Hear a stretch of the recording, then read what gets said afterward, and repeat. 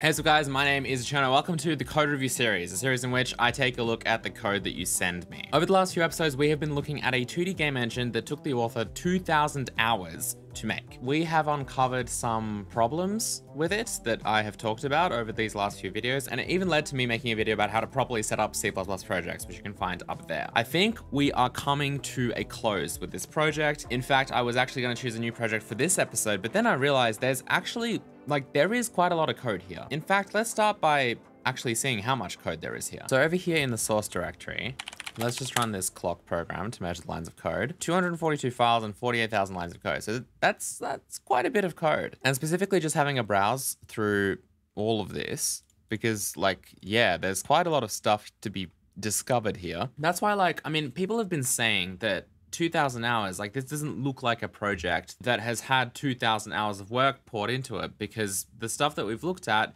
you know, has not been the, the, the best code and the best design. But the thing is, the amount of time that you work on a project has nothing to do with the quality of that project and the level, I guess, of quality of that project. An experienced programmer who knows exactly how to build a 2D game engine might take a few hundred hours and build something far superior to this. But then someone who's just a beginner and just learning all about game engines can just enjoy the process of building this game engine. And if they work on it for, you know, in this case, over 2000 hours, like you are physically going to end up with a large program, a large project, a lot of code. But if you spend all of your time just programming and not learning, then the product you make is probably not going to be very good, even though it is physically large and it might have a lot of features, which is what we're seeing here. Now, this might sound discouraging, but I, I don't want this to be discouraging because this actually reminds me of something that I used to do back in the day. I don't know if you asked for a story, but you're getting a story right now. So when I first started programming, I distinctly remember that in year 12, this is the final year of high school here in Australia, I was sitting in my English class with my laptop and to have a bit of fun, I thought that I would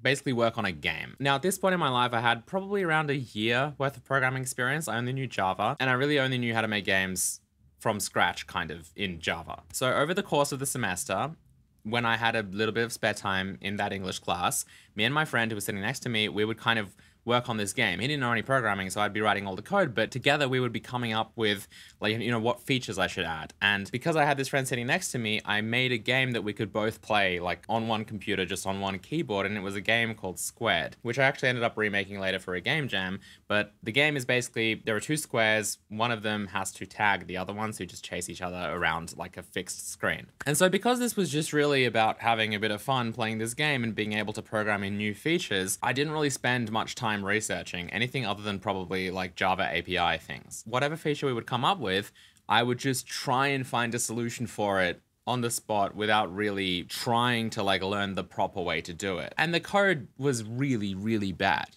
I mean, maybe maybe we could code review that for fun one day. Young Cherno code is always terrible. But anyway, the point of this story is that even though the code did not turn out very good and I would completely write it in a different way even a year after that because I learned so much more stuff, it was still, I think, a very valuable experience for me to sit down and actually use my brain to try and work out solutions to problems without knowing that what I was doing was objectively terrible. Because what it did is it made me think. And then later I was able to see why those solutions were not very good and why there are certain better solutions because I could experience that firsthand instead of just being told, don't do that, that's bad for whatever reason, do do it this way instead. However, if you're going to spend 2,000 hours on writing a 2D game engine, I would definitely recommend that you balance that with learning and education which basically means pick up a book. For example, Game Engine Architecture by Jason Gregory. That's a really good one. Look at some existing projects on GitHub to see how they structure things. Read some articles to see what a potential good way to structure an entity component system might be. This project specifically is using SFML, so maybe look at some example SFML games or documentation to see what a good way to use that library would be. Or if you're at the beginning of your programming journey, then why not check out Brilliant.org, the sponsor of this video, for free. Brilliant.org is an amazing website filled with lots and lots lots of really high quality courses on various STEM topics. It's an excellent way to dive into programming for the first time because they have some really good beginner level computer science courses that will help you think like a programmer. And because I believe that programming and math are really, really important together, Brilliant is an amazing choice because they also have a lot of really good math courses. Now, why Brilliant specifically? Because their courses are super engaging and interactive. They have these widgets you can play with to see how things work. Like for example, in their calculus course. Calculus can be pretty hard, but being able to visually see how numbers change things can be really, really helpful. And did I mention that you'll also get quizzed to make sure that you're learning and retaining this information? Now, if calculus is too advanced for you, don't worry, because Brilliant's math courses go all the way down to their everyday math course, which is a fantastic, gentle introduction into the world of math. And you can get started for free. They have a 30-day free trial that you can use to check out all of the courses on their platform and see if you like them. And if you do, Brilliant have been nice enough to offer the first 200 subscribers 20% off an annual membership. Huge thank you to Brilliant.org, as always, for sponsoring this video. So yeah, if you're going to invest a lot of time into a project, don't forget to also invest time in education and learning. So today I wanted to take a look at the entity component system uh, because there seems to be some sort of entity component system inside this engine. I don't think it's exactly set up you know, to be an actual entity component system. That might sound confusing. What I mean is that just because you have a class called component and you have entities does not mean you've created an entity component system. An ECS, an entity component system or an ECS for short is a specific type of kind of data structure and system. And the benefit of an ECS, or at least the two kind of major major features that I think are important for it to be an ECS, are the compositional functionality, meaning you can create an entity and then compose its functionality by just adding in whatever components you want arbitrarily, and they all just work together. But then also the performance, because what you're doing is you're batching together operations that are required to happen for components, and you're storing components usually contiguously in memory, so that even though we visually see different entities doing different things, things, when it comes to the computer processing those entities, it doesn't worry about them being actual entities and then having to traverse whatever components they have. It specifically bulk batch kind of processes the components all in a row together, which is what makes it so fast. So that's basically my checklist when I'm looking at whether or not this is a correct implementation of an entity component system. Now, isn't ECS the absolute best solution for all cases? No, there is no best solution for all cases. There are definitely things that are better in probably 99% of cases, which is why we consider them to be superior solutions to certain problems in computer science. But to be honest, like computers are so complicated and just requirements are so different. Like your requirement might be so simple that any solution fits the bill, and some solutions might be easier to extend or easier to understand for more junior developers, which might make them the superior solution, even though they might perform 10% worse because 10% of a few microseconds might not be significant. All right, anyway, so we have this class called component. This is like our base class. We have a couple virtual functions. So immediately this tells me that, of course, this is going to be derived from. Yeah, so, I mean, to me, this like already shows a little bit of a problematic behavior for an ECS because if you have derived classes, you can't exactly store them as components and still have contiguous memory. That's usually not what you would do anyway. With different components, usually what we do is we have buckets. So you might have like a sprite component, you might have a transform component, and then the idea is within those buckets, we allocate memory and we just store these components all in a row. And that way, like let's just say we have a transform component and it's a 4x4 matrix. That might be 64 bytes of memory, right? So if you have 64 bytes of memory, one after the other, and they are really truly contiguous, the benefit there is that if I need to access all of these because I'm iterating through all the transform components in my scene because I want to do some rendering or whatnot, this, this obviously gets a little bit more complicated because if you're going to do rendering, you also need sprite components. Does the entity have a sprite component? Maybe it's an audio thing. It has a transform, but not a sprite component. Anyway, of course, this gets more complicated, but I'm just trying to keep things simple here. If we have all of these, then when we ask for this first one, our CPU will prefetch a bunch of memory. That's going to be more hot on our CPU cache. And it means that it's, it's kind of like we don't have to request the memory for each transform component. We kind of batch it together. It's like if you were shipping something from one country to another, if it's all coming from the same warehouse, and in fact, the boxes are next to each other, they can just package that into, let's just say one big box, ship it to you, you get everything all at once. It's obviously much more efficient than if they're coming from three different warehouses and you have to send them all independently. That's basically what you're doing when you're creating contiguous memory that you can fetch all at once instead of having it all be segregated in different parts parts of your physical RAM. Now, if you have components and they're virtual classes basically. So you have this base class called component and then you have all of these derived classes that you create for sprite component, transform component, you know, audio component, whatever you might have, then obviously the only way that you can store them in a contiguous block of memory is by creating pointers out of them. And so you have a pointer to an instance of a derived class, which then, of course, will live in heap memory somewhere in a arbitrary location that will not be contiguous. Now, some more words here just to dive a little bit deeper into this. I said heap allocation here because, I mean, I, have seen in this project, I don't think there are custom allocators. I think this person's just using the new keyword and it's not like overridden with a custom allocator or anything. They're just using the standard, stock standard C++ new keyword to allocate memory, in which case it will come from an arbitrary place. If they were using a custom allocator in an arena, technically maybe this memory might be a bit more together and a bit more contiguous, but we're not going to talk about that. The other possibility is that you don't technically have to heap allocate derived classes. You can just stack allocate them. Now, the reason why that's uncommon is for a couple of reasons, but the main reason in this case would be they'd all be different sizes. So this transform component might be 64 bytes plus, you know, these one byte booleans. So you might have 66 bytes, but then because there are virtual functions, that also be a vtable. So you have that size, but then a sprite component might have different members, therefore it will be a completely different size. So because these aren't all the same size, you'd need to store the size for each of these, which can be done. I mean, this is C++, this is programming, we could do whatever we want. We could have a table of integers or of, you know, uint64ts that were sizes or really offsets of each component within this list. This is probably a little bit confusing, but at that point, what you're doing is instead of this just being like a traditional vector of memory where you have like each element is a fixed size, they're all uniformly sized, you're kind of turning it into just a buffer of contiguous memory, and then you're serializing it basically. And then you have different offsets for different elements. Anyway, I don't know why I'm sometimes I just get carried away. So pulling out of the depth now and going back to my simple explanation in the beginning,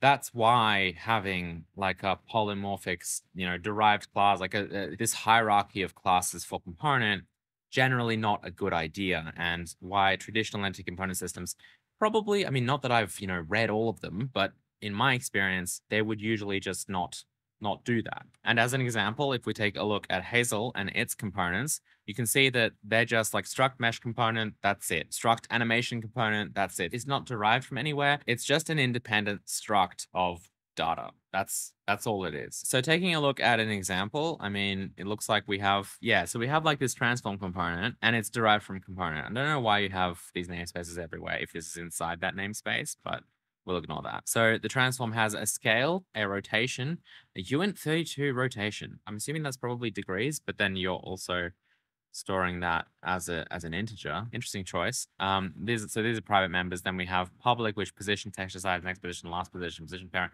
This is a lot of stuff for a transform component. Now, what I'm interested in at this stage um, is just basically how. So there's there's an init function, and then inside the init function we reset it, which will I mean, here's the constructor. So the constructor will do a bunch of stuff, but then reset will also just, yeah, set all of these things and attach sprite. And it's a sprite pointer. Wow. So, wow. So, so transforms have a sprite pointer in them. So sprite in this engine is kind of like entity because there is no entity. And because this is called sprite engine and it's the 2D engine, the sprites are the entities. And I don't know if that extends to entities that don't get rendered. So for example, like an audio listener or some kind of physics bounding box that might not have a visual rendered representation, whether or not that's also considered a sprite or not. But as far as I'm aware, sprite is the same as entity in this in this engine. So it's got a reference to that, which is a little bit weird. That's not something that you would typically do. What I am interested in though is where does this live? Let's see if we can find where there's a lot of transform stuff here. Let's find maybe like, is this a component? Yes, let's just try and find this because transform's such a common thing. Maybe this is less common. Okay, this animatic was anim okay, so that's sprite. So there's sprite.cpp and sprite.h. And so this is the sprite class. So this is kind of like the entity class. Then we've got an ID, we've got a parent ID, we've got a sprite, which is the SFML sprite, okay. Oh, and then we've got all the components here, a stack allocated Oh man. Oh, oh boy. Oh, and then we've also got what? We've also got this. Pointer to all the child. So we've got all the children as pointers here, as well as the parent. But then remember how in a previous episode we also looked at sprite repository, which also has a collection of sprites. And then, yeah, it's got a vector of sprites. which is really, I think that's root level sprites because then we've got all of the all of the children and it's stored inside a tree, which is why, for example, this get all childs or get all children function will be recursive because it will keep having to traverse the tree since the ones stored inside Sprite repository are just the high level ones. And that is why, again, we have we have to have a vector of all of the children here because the one in Sprite repository is just the root level nodes, but these are all of the, the local relations or related sprites, I guess. I have talked about why this is not great and you don't want to have a tree and you want to have a flat list instead. And if you did have a flat list, I would also not have, you wouldn't have this hierarchy built inside of each sprite because then what you're doing is you're kind of duplicating your data across. You're, you should have a central place where you just stored the hierarchy and that's it. And Sprite shouldn't be aware of its hierarchy. If it needs to be, it asks whatever is storing the hierarchy, what are my children, instead of containing a copy, basically, of that children list itself, because that's super annoying to maintain if that makes sense. Like you have to not only not only tell the data storage that stuff has changed but then also tell each individual sprite that their hierarchy has been updated and that just gets messy and it's also very bug prone. But this i'm upset about. This i don't think there's a lot of there's a lot of things to say here. This is definitely not uh, any kind of ECS, any kind of entity component system, at least not the traditional definition of what that is. The first problem with this really is a design kind of architecture problem, and that is the fact that a sprite automatically has these components and also you're storing them inside the sprite. Generally not what you want to do, because now if I want to, for example, render all of the sprites in my scene, what I have to do is I can't just get all of the like sprite renderer components and the transform components and whatever else I might need to render it and just kind of iterate through all of the ones that I have inside my scene and render them, I have to actually visit every sprite and then ask it, hey, do you have a sprite renderer? Yes. Okay, I need to use that sprite renderer component now. That's not good because now I'm iterating through all the sprites and all of the data that's associated with it. So if I fetch a sprite, for example, here's what I'm trying to say. If I fetch a sprite, for example, I'm automatically fetching all of this data. Like there's a lot of stuff here that I'm automatically receiving, but I don't need half of it. And that's the benefit of the ECS, the fact that I'm going to get tunnel vision, I'm going to close my eyes, and I'm only going to care about just this system, just what it needs. So this, the rendering needs the sprite render component, the transform, whatever else. I'm just going to focus on that because if I do that, it's just going to run faster. But with this, it's like you focus on the whole sprite because that's what you're doing. And then you have to fetch all of this stuff that you don't care about. Physics is not related to rendering, so why would I care about that? But yet I have to because the sprite renderer is nestled in between all of these other systems that I don't care about. And that's really not good for design. That's why you would batch all of that data together and store different components in different buckets. You can also interleave components if you want with other ones, but that's besides the point. That's not what's happening here anyway. The other thing is all of them are automatically added. So an animator like this sprite might not have an animation, but it obviously has an animator component in some fashion. And then also, these are not heap allocated. These are stack allocated. That's not the biggest problem here. Uh, it You have to be careful with that because if you do have derived classes that are stack allocated, then if you do pass this into a function, for example, that takes just components, you might think that would work because you're downcasting it basically into its base class. But if it's stack allocated, that's going to result in object slicing. Because when you do this, there's no information stored that basically tells it that, no, no, no, I actually am a sprite render component. It just casts you down to a component, which, as we know, only has two booleans and that's it. And then you you kind of you basically can't recover that data that you have inside transform. So all of this would basically be cut off and lost and sliced off. So that's called object slicing. And I recommend that you look that up as well if you want more information. So for that reason, I I probably wouldn't do that. It's not it's not that you can't do that. It's just that you you want to you just need to be careful with that. That's all. But even if we ignore the performance problems of putting all of these into Sprite and then having to visit each Sprite to then get its components and send them to like a system. There's some systems here we can look at as well, maybe next time. But ignoring the performance things, I also just don't like the fact that they're all always present. you know, like they're all here. When you create a sprite, you automatically construct all of these objects. It kind of ruins the the compositional attribute that I mentioned, like the fact that you can compose this with whatever you like. They're all already here uh, which I don't like. But anyway, I hope you guys enjoyed this video. If you did, please don't forget to hit the like button. Leave your thoughts as well in the comment section below. Should I keep looking at this? Should I try and present some possible solutions to these problems? Let me know as well in the comment section below. Don't forget to check out brilliant.org, and I will see you guys next time. Goodbye.